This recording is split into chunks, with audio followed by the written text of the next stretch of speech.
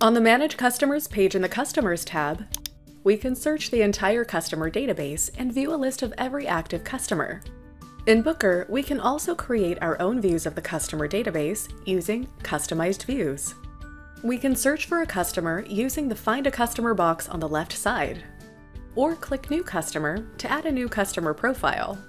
The customer list is hidden at first, making the page more streamlined and easier to navigate. To view the list of customers, click View All Customers. The page expands to show a list of 10 customers. Anytime we see a list like this in the system, we will always be able to expand it to show more rows of information, but 10 is the default. To view more than 10 customers at a time, use this drop-down menu at the bottom left of the list. To sort this list by email address, click the email column header.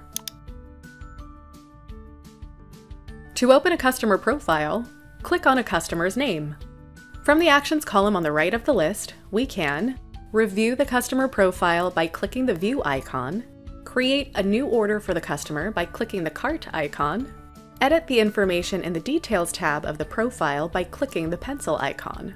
And we can delete the customer from the system altogether. This delete icon will only appear for customers that have not completed an appointment or order in the system.